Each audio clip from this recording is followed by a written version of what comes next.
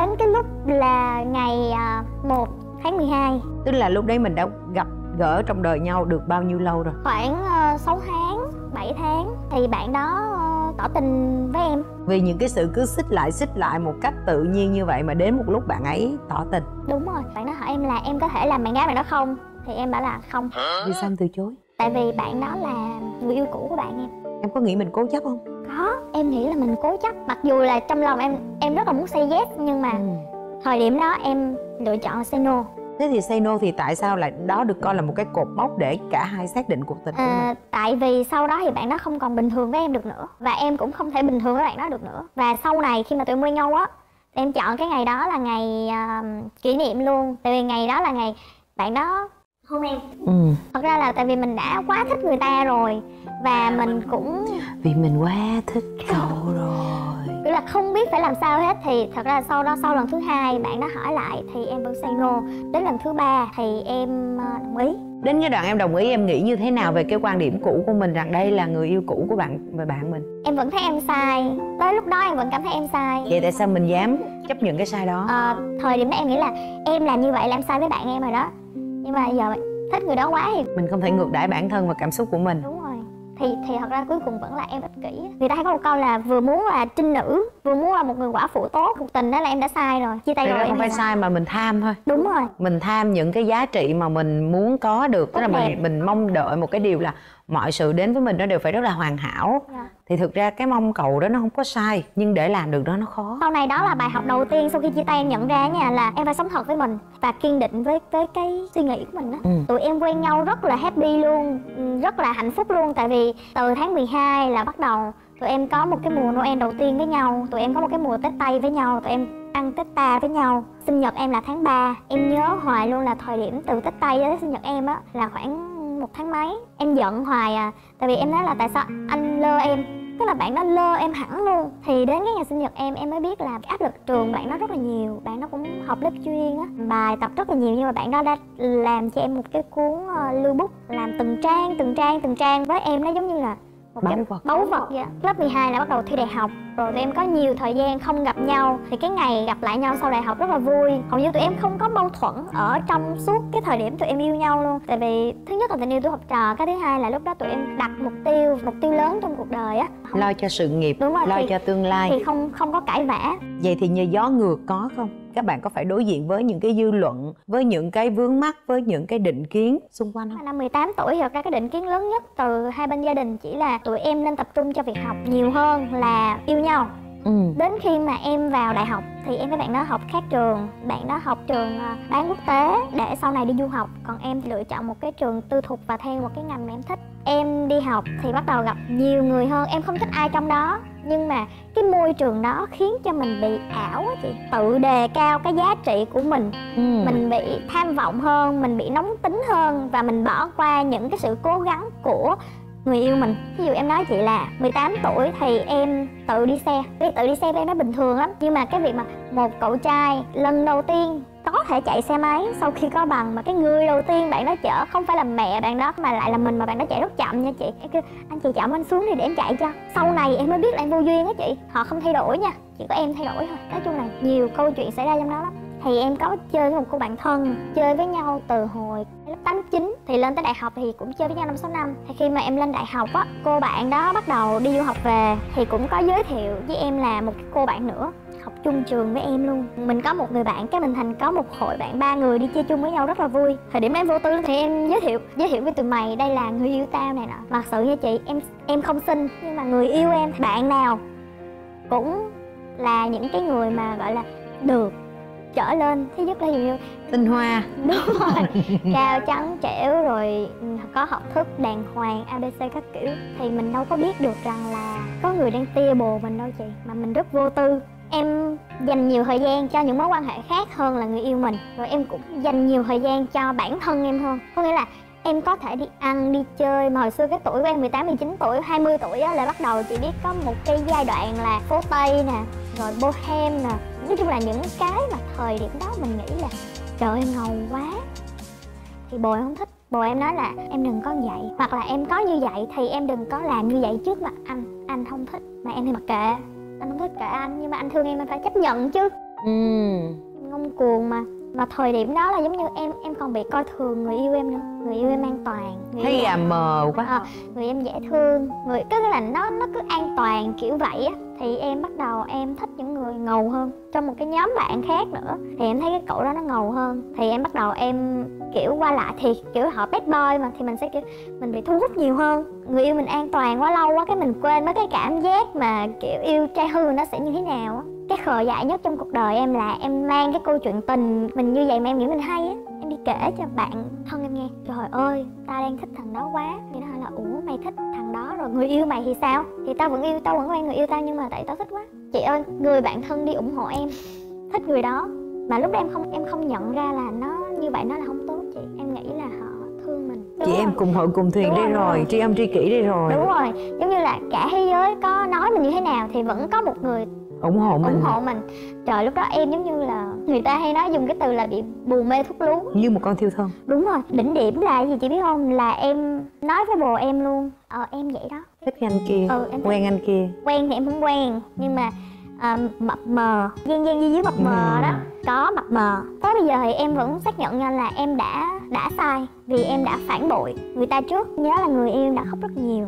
Năn nỉ em á đừng có làm người ta đau như vậy nữa rồi đừng có nói ra những cái lời như vậy nữa. Em có thể làm tất cả những thứ em muốn nhưng đừng nói với họ được. Như vậy em tàn nhẫn. Em như sát muối vào trái tim họ mà lúc đó em không nhận ra chuyện đó. Em cảm thấy là em chỉ sống thật với em thôi nhưng em sai. Mình cho rằng là mình đang thẳng thắn. Đúng rồi nhưng mà thật ra là ngu dốt. Sau chuyện đó thì cái bạn bad boy kia bạn đó đã nói thẳng với em luôn là quay về với lại cái người yêu của em đi vì người đó là người tốt. Họ không thao túng mình họ Đúng không rồi. nhân cơ hội mà thao túng đúng mình. rồi đúng rồi thì họ nhận ra là em không phải là cái kiểu con gái đi chơi để cặp kè để thì này thế này nọ mà em chỉ là giống như một con nai tôm mà bị vô tình bị mắc vào cái lưới của người thợ săn thôi. Ừ. nhưng mà em không biết là từ lâu rồi cái sự tổn thương của, của cái người yêu em á nó đã sâu dày rồi. Thì lại có những người chị em bạn gì đó họ hiểu hết họ có những cái bằng chứng họ có tin nhắn họ có voice chat họ để ở đó và họ tiếp cận để xoa dịu an ủi tới cái thời điểm là em nhớ là lúc đó là tháng 12 hơn kỷ niệm một năm á thì em phát hiện mà cái sự phát hiện đó nó cũng như cái định mệnh như đó chị. Bạn đó đang nấu ăn cho em. Trước đó thì tụi em không có dấu hiệu gì để rạn vỡ hết khi em quay về á người ta vẫn rất yêu thương em. Em nghĩ là em đã lần thứ hai trong cuộc đời em em may mắn em tìm được một cái người thương em hơn là chính bản thân em thương em. Họ đang uh, ở ngoài nấu ăn cho em thì ở trong đây em ngồi dọc máy tính. Thì lướt facebook nếu phát hiện thì cái tin nhắn của cái người bạn của mình là anh đang làm gì vậy? Anh ăn gì chưa? Thì nay anh có làm gì không? Ừ. thì em mới thấy ủa sao cái con này nó nói chuyện với ờ, bồ mình kỳ vậy ta? Tại vì con nhỏ bạn đó của em lớn hơn tụi em tự nhiên kêu anh. Mà đó giờ toàn kêu tên không mà Ừ. Nói, ủa mà tại sao mắc cái gì mà nó đi nhắn tin cho bồ mình ta? Bắt đầu em bấm vô em coi em coi tới đâu nước mắt em rớt tới đó. Tại vì hai người đó hẹn nhau rất là nhiều đi chơi đi ăn. Thậm chí là đi những cái nhiều hơn như thế rất là nhiều. Từ cách đó bao lâu? Khoảng tháng. Người bạn nữ đó thì đến với cái người bồ của em với tư cách giống như là thương và xúc động cho nên là muốn an ủi đúng rồi. muốn bù đắp. Đúng rồi. Muốn động viên. Dạ đúng rồi. Thì ngay lập tức em nghe từ nhà bếp bạn đó chạy vô vì bạn đó đang check tin nhắn và bạn đó thấy là đã có người xem rồi bạn đó biết là em. Thật sự luôn là cái lúc đó em em không buồn nha nhưng mà nước mắt nó tự rớt rớt rớt rớt rớt xuống. Xong bạn đó xin lỗi. Em không nói gì hết em xách đồ quẩy đồ em đi về. Bạn đó đuổi theo bạn đó xin lỗi bạn đó làm đủ thứ hết nhưng mà em em không là không. Em được còn nặng lời đó anh là người vậy đó rất là khốn nạn. Vài ngày sau bạn đó bạn đó nói với em là ờ, anh đang sốt em có thể qua để thăm anh không? Thì em cũng qua. Có hai thứ à, đối với em á, là em không chấp nhận được. Thứ nhất là nói dối thứ hai là tham lam. Cái thời điểm đó bạn đó vướng cả hai luôn. Câu đầu tiên bạn đó nói em anh đã block hết tất cả mọi cái contact với cái người đó rồi. Em đừng có giận anh nữa. À, cho anh một cơ hội rồi em nói ờ để coi rồi sao. Thì bạn đó vừa vô rót nước cho em thì ngoài đây bạn kia gọi điện thoại tới bằng số điện thoại bàn. Bắt đầu em đùng đùng lên. Bạn đó nói là anh lắp hết rồi nhưng mà số điện thoại bàn anh không có lắp được. Mà em không có nghe tại vì lúc đó là em không quan tâm tại vì cái nư mình mình đang là người bị phản bội mà chị. Trong cuộc đời em thời điểm đó em chỉ thấy em đúng không? Em không thấy em sai. Trong cái thời gian mà bạn đó níu kéo em á là em phát hiện hai người đó còn đi chơi với nhau nữa chị. Ừ. em nhớ cái lần đó là em ra em gặp xong rồi em hồi đó bạn nó có tặng cho em một sợi dây chuyền cho em giật cái sợi dây chuyền một cái phật em quăng vô bạn đó, em chạy về luôn. Em nhớ hoài cái thời điểm có một ngày đó, em đi coi Frozen với bạn đó. Sau cái bộ phim đó tự nhiên tự nhiên người em nhẹ lắm đó là mình đi coi phim thì về là tụi mình à, đừng liên lạc với nhau nữa. Tại vì à, em nghĩ là em em có thể buông được anh rồi đó là anh đừng liên hệ với em nữa nha. Trời bạn đó chở chở thẳng em về nhà, bạn đó bạn đó dẫn thẳng em lên phòng mà khóc quá trời bạn đó khi tranh cơ hội đi. Nhưng mà trong vòng tích tắc chừng một tuần lễ thôi chị. Bạn đó nói là mình chia tay đi. Anh quyết định là anh sẽ chọn người kia. Cái câu mà đau lòng nhất mà em nhớ tới bây giờ luôn. Bạn đó nói là, mình còn trẻ lắm, mình sẽ còn nhiều cơ hội và gặp gỡ nhiều người trên cuộc đời này lắm. Tương lai mà tụi mình còn có duyên với nhau á, tụi mình hãy gặp lại. Còn thời điểm này á, anh nghĩ là mình nên dừng lại. Anh đã rất cố gắng để mà cho cái cái bạn kia có niềm tin ở nơi anh. Nó có tổn thương lắm điều gì đã diễn ra trong một tuần đó em không biết. mà có sự thay đổi khủng khiếp như vậy? Thật sự là em không biết. Thật ra cái cảm giác cái lúc mà bạn nói như thế em nghĩ là em chiến thắng em winner. Ừ. I'm a winner. Em nghĩ rằng em tổn thương nhiều tại vì cách yêu của em nó không đúng. Là do em nghĩ. Đúng rồi tại vì thật ra đến cuối cùng nha em chỉ uh, yêu bản thân em thôi em yêu cái cảm xúc của em thôi chứ em không có yêu người ta nhiều như em nghĩ. Có một cuộc nói chuyện nào giữa em với người bạn gái của mình không? Không luôn chị. Thật ra thời điểm đó em cảm thấy là bạn nó không xứng đáng để em nói chuyện. Em block facebook bạn đó tới giờ là chắc cũng mười mấy năm rồi đó. Ừ. à, chia tay chia tay xong rồi cũng vài năm sau thì bạn đó đi bắt đầu đi thái lan. Bạn đó block facebook em như cái cách em block facebook cái bạn kia. Có một cái là em không bao giờ đổi facebook tại vì em nghĩ rằng là một ngày nào đó biết đâu mình sẽ có cái, cái duyên gì đó gặp lại. Trong thời gian bạn đó đi du học là uh, năm nào tới sinh nhật bạn đó em cũng sẽ post một cái status để em chúc mừng. Em vẫn âm thầm theo dõi bạn đó ở trên các trang mạng xã hội xem như thế nào. Không biết làm sao á bạn nó biết. Bạn nó mới post một cái status mà không phải bạn đó viết mà là người yêu bạn đó viết là các bạn nữ kia bên đó là mày đừng có biến thái như vậy. Đừng có đi stalk cái facebook của người khác như vậy. Nhưng mà sao em nghĩ rằng là người ta đang viết cho em mà không phải là cho những người khác? Chị có nhớ em đó từ đầu là em có một cô bạn thân chơi từ năm lớp tám chín không cái người mà ủng hộ cái mối quan hệ cuối cùng cuối cùng để uh, hai người kia đến với nhau là bạn thân em. Và em quyết định em block luôn. Em block bạn đó tới bây giờ là chắc cũng uh, ờ, 10 năm.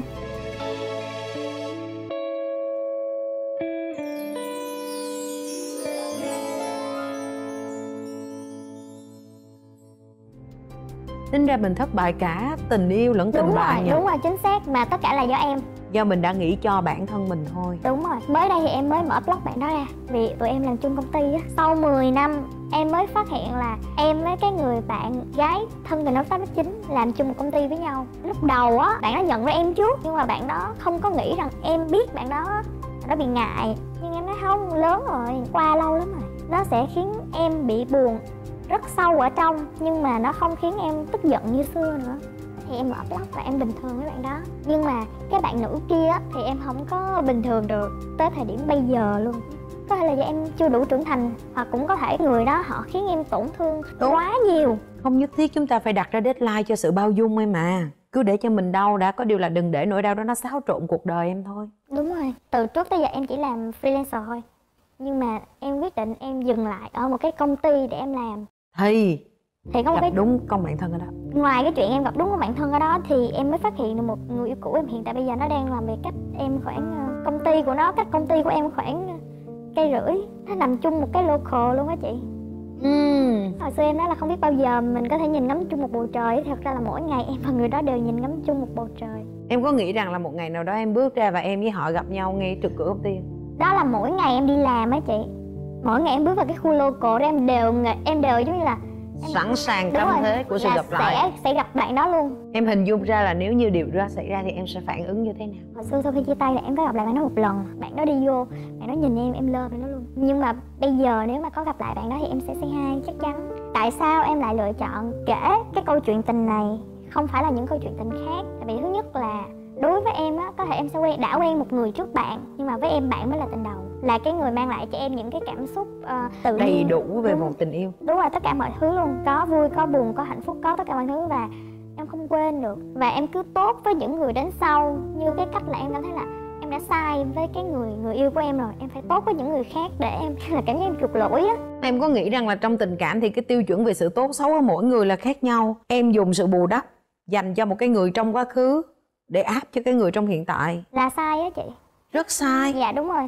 Thì sau đó thì em bị tổn thương liên tục thôi. Chỉ có những, cái người bạn mà chơi với em đủ lâu á thì họ mới biết được rằng có những cái tháng trong năm hoặc là có những cái ngày nào đó đặc biệt trong năm á em vẫn đến cái chung cư cũ đó em vẫn cầm một chai bia em muốn em vẫn cầm một chai rượu em muốn và em khóc như một đứa trẻ không ai biết hết. Thì cách đây 3 năm em quyết định là em không quen ai nữa. Sau khi mà em kết thúc một cái mối quan hệ thời điểm hiện tại bây giờ là em single mà em cảm thấy em rất thoải mái. Em có nhiều thời gian để em lo cho em cho chính bản thân mình cho gia đình cho công việc và có thời gian để học lại nhiều điều từ những câu chuyện cũ hơn. Vậy thì em ngồi đây khi em nhận lời của chương trình em mong muốn được nhắn gửi điều gì? Chính em đi em nghĩ thời điểm này em đang làm đúng rồi đó. Em cố lên và tin tưởng rằng mình đang đúng đi. Có một cái ờ, điều ước có thể gửi là lại em trong quá khứ thì hãy chơi với những người ờ, tích cực hơn sáng suốt hơn và dành cho những cái người mà đang xem chương trình đó em hy vọng là mọi người sẽ ờ, cẩn trọng với trái tim mình hơn cố gắng để ờ, giữ gìn những cái mối quan hệ mình đang có đừng có nhìn xa xôi quá. Cả một cái câu chuyện dài mà chị nghĩ là nếu như bây giờ um, hỏi chị rằng là cái điều gì giá trị nhất trong cái hành trình tình cảm mà em mang đến ngày hôm nay á thì chị nghĩ đó là hãy lưu ý về sự thu xếp cuộc đời mình và hãy biết cách để đóng gói những cái trải nghiệm lại. Em đã không thể đóng gói trong quá khứ sai ở một cuộc tình và em dùng cả một cuộc đời còn lại để đi sửa sai trên những cuộc tình khác. Em không có đóng gói cái cuộc tình đó lại. Em cứ để nó tràn lan để rồi cuối cùng rồi cuộc tình thì đã kết thúc rồi, nhưng mà hậu quả của nó vẫn còn và nó lại tiếp diễn thêm những cái sai mới trên những cái mối quan hệ sau này.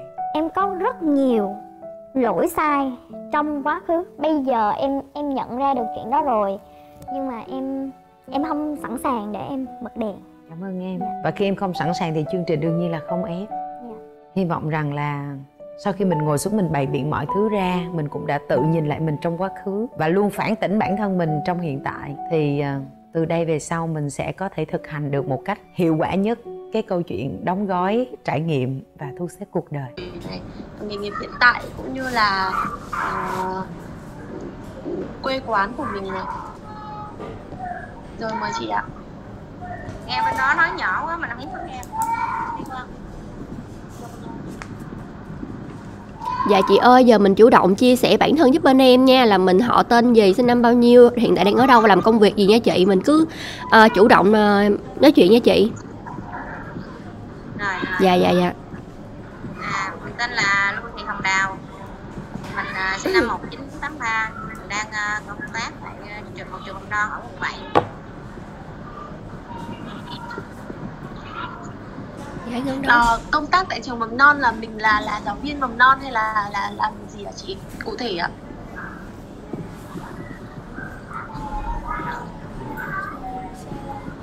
À, chị có nghe rõ em nói không nhở?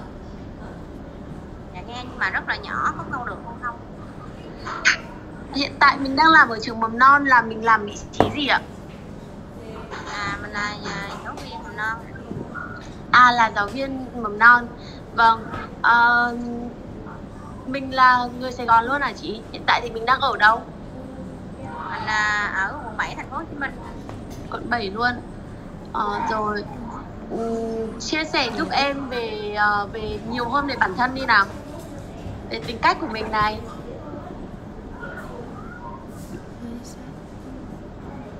Bạn bạn có thể nói lại À, chị chủ động chia sẻ giúp em nhiều hơn về bản thân được không ạ? Về tính cách của mình này, à, mọi người nghĩ mình là người như thế nào, ưu nhược điểm của mình là gì? À, mình thì à, là mình là người mà cũng ờ, không có năng động lắm, không có hoạt bát lắm, mình uh, cái người sống tốt nếu À, cái uh, ưu điểm của mình là là mình bạn bè gì đâu đặc biệt nói là mọi người rất là thích do là cả mọi người cái cái miệng của mình hay là mình có khi mà đến một cái uh, nơi đông người mình thấy phải là người mà ảo về số siêu người đó rồi thế trong tình yêu thì mình là người như thế nào? Mình chia sẻ cho em về cái câu chuyện tình yêu của mình được không? Tình trường của mình như thế nào?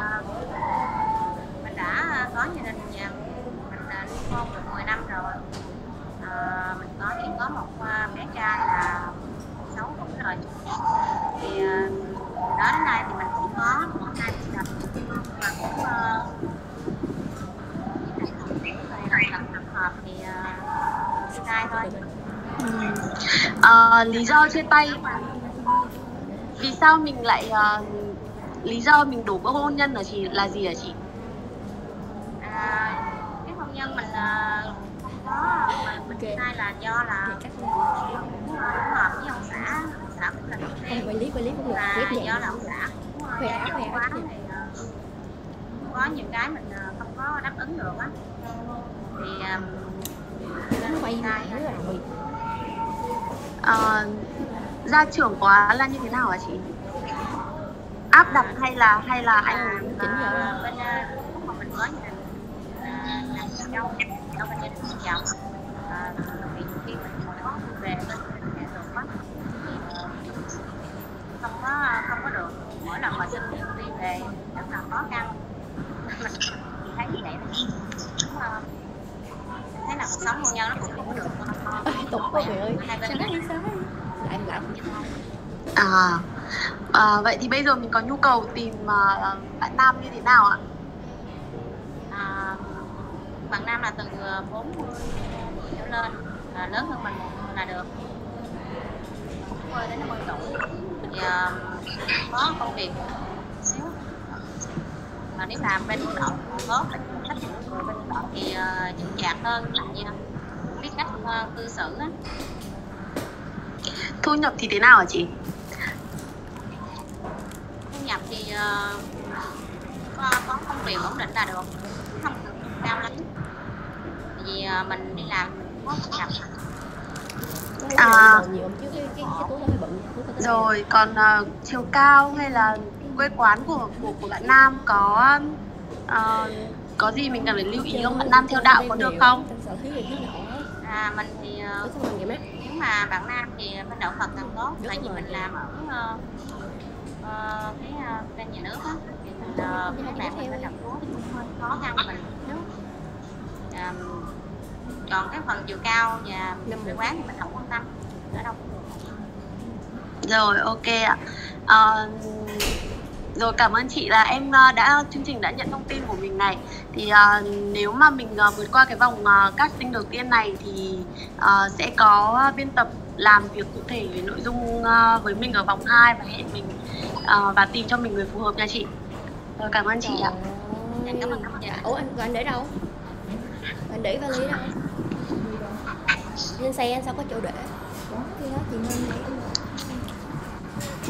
hiện tại. Quê là mình ở Vĩnh Long còn hiện tại là mình đang buôn bán ở Trà Vinh hả chị?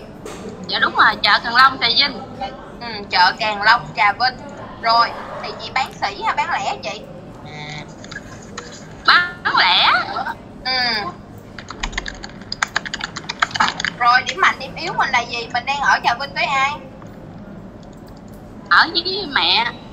Ừ. Rồi mình chủ động mình nói đi chị à tụi em không có hỏi tiếp ờ, tiếp tục ha. Mình chỉ ờ, chia sẻ tự chủ sẽ giúp em ha. Điểm mạnh điểm yếu của mình là gì chị ơi?